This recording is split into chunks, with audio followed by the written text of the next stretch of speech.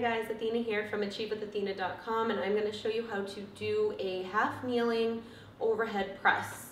So you're going to take a half kneeling stance here with one foot out in front. That's going to be directly underneath that knee.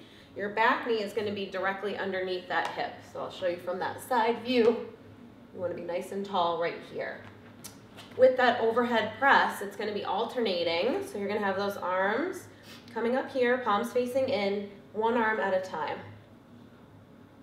Pressing up, pull down, up, pull down. You want to keep that core nice and neutral. You don't want to be rocking from side to side at all.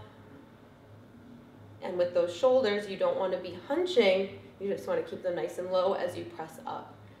Once you do them on one side, you'll switch your leg and you'll get that on that other leg as well.